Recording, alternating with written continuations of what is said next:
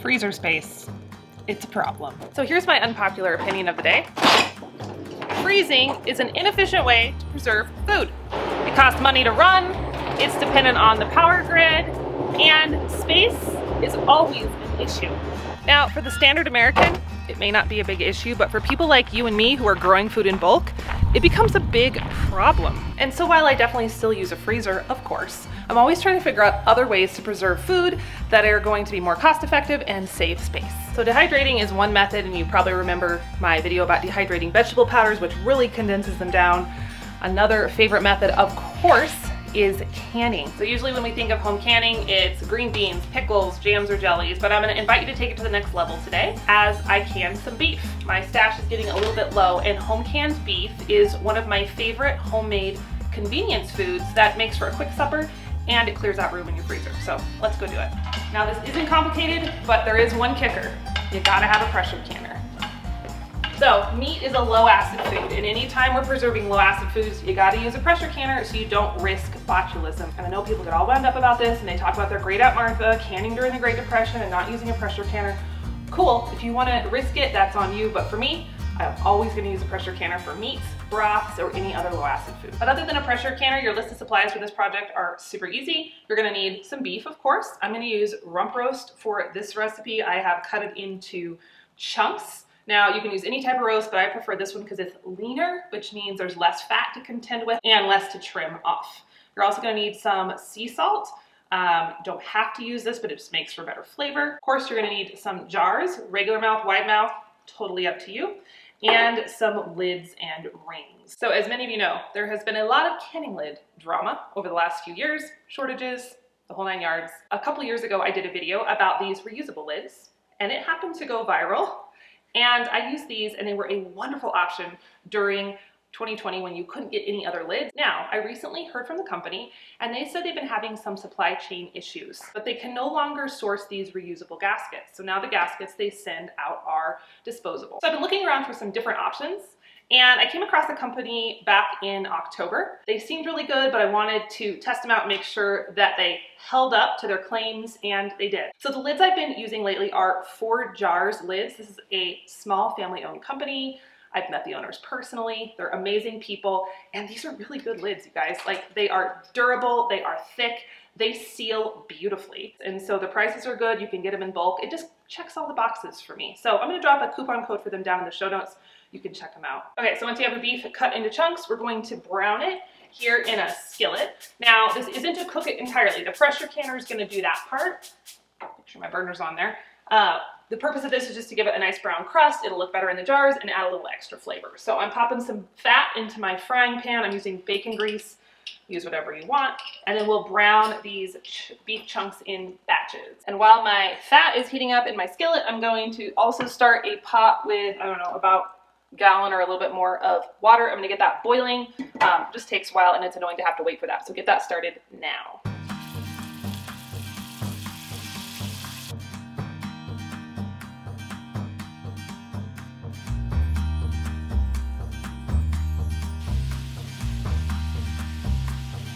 Give you a glimpse of what a working kitchen looks like, this is definitely not a studio. We have clean dishes, we have dirty dishes, we have sourdough starter, we have all our canning paraphernalia.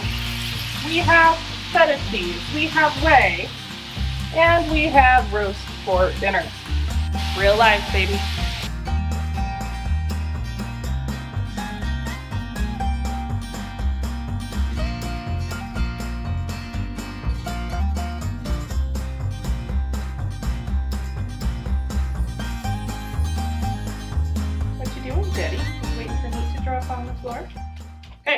My pile of brown meat and now we're ready to put everything together. I have my jars nice and hot. We're just gonna fill these full.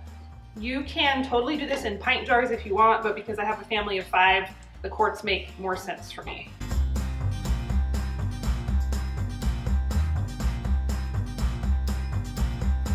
All right, jars are full. Just for reference, that was four, three to four pound rump roast, and they filled seven jars. And that's really gonna depend on what your roast look like, lots of factors, but just so you know, kind of a ballpark. Now I'm gonna add a teaspoon of salt to my quart jars. If you're using pints, add a half teaspoon.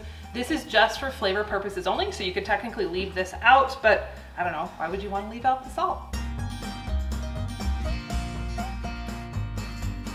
Okay, so now we have our boiling water, been waiting for us.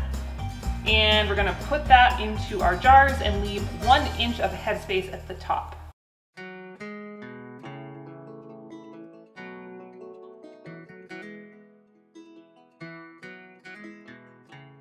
Okay, I'm gonna remove the air bubbles. Now, you probably shouldn't use a, a metal knife. I'm gonna do it today. You just wanna be really careful that you're not whacking the glass and causing any breaks. So I'm just releasing any trapped air that maybe got underneath the beef chunks. This will help with your liquid levels staying where they need to be after the jars come out of the canner. Okay, I'm also just gonna check my headspace. I don't know if you can see, this one is too low in the liquid level, this one's too high. Totally normal, it happens. So I'm just gonna use a spoon and pull a few tablespoons out. My rule of thumb, if I'm looking for an inch headspace, I'm gonna go right to the bottom of this lip on both regular mouth and wide mouth jars. I'm gonna wipe the rims to get any residue off to make sure that our lids seal properly. Okay, so I have my lids in a pot of hot water here. I'm not boiling them or anything. I'm just getting them warm to prep the sealing compound on the edges of the lid. And now we're gonna pop these on the clean rim.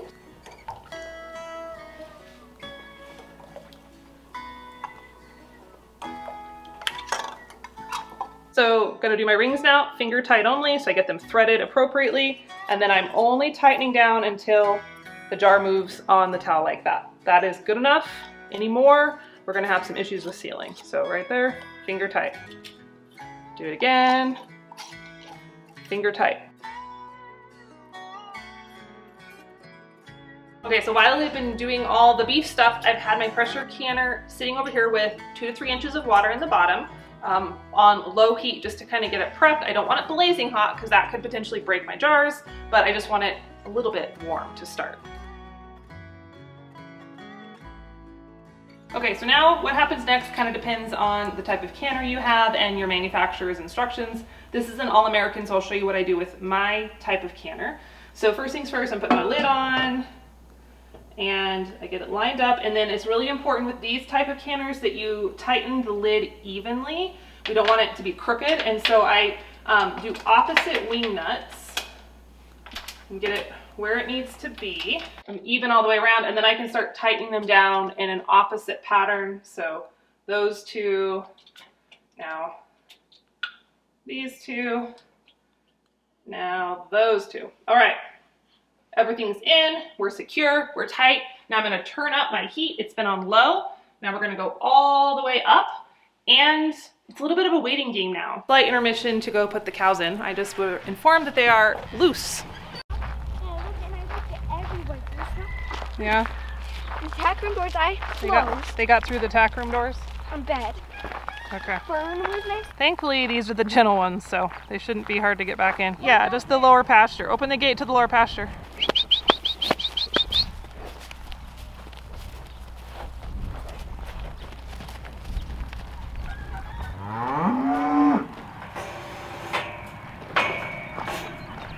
We got them. So see guys, canning is so easy, you can do it while you're moving cattle even. Okay, back in the house, here we are. You can hear it hissing. We're building pressure and you can't really see it, but there is a stream of steam, hot steam coming out of my little pipe. So I'm gonna let that vent for 10 minutes. It's been 10 minutes, so I'm gonna stick my weight on. Again, your canner is gonna just be different depending on the brand, so it might look like mine, it might not, but that's how this one works. I put it for 15 pounds of pressure because I live at high elevation. Manufacturer directions have all the, the stuff for that. And now I'm gonna wait again until this starts to jiggle. And once it jiggles the first time, I'm gonna set my timer for 90 minutes because I'm processing quart jars. Okay, we've started jiggling. I don't want it jiggling constantly. I want it to jiggle a couple times every 60 seconds, but that's it. So I'm just gonna keep adjusting my burner to make sure that we're staying at the right level. If it jiggles too much, we're gonna be releasing too much steam and running our canner dry, which is bad. And if we don't jiggle enough, it means it's not at the proper pressure. But you can see my dial gauge here shows we're at 15 pounds, which is exactly what we need. So now I set my timer for 90 minutes and just shut the timer off And now, this is important. I know you're excited to see the jars, but we're going to leave this alone. Don't touch anything until it gets back down to zero pounds of pressure.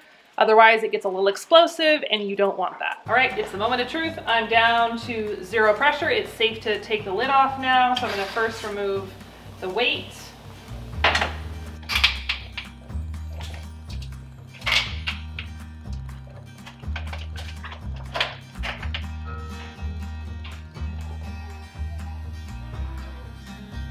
Check it out, 100% sealing every time.